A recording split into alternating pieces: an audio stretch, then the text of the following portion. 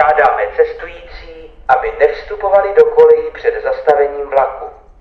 Osobní vlak číslo 5104 linky V4 dopravce České dráhy do stanice Starkoč Trutnov hlavní nádraží a Svoboda nad Úpou s odjezdem v 7 hodin 29 minut přijede na kolej číslo 2